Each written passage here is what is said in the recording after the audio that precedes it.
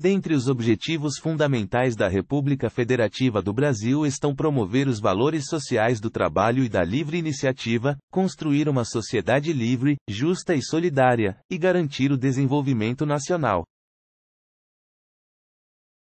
Analisando a questão, você responde: verdadeiro ou falso? O gabarito é falso.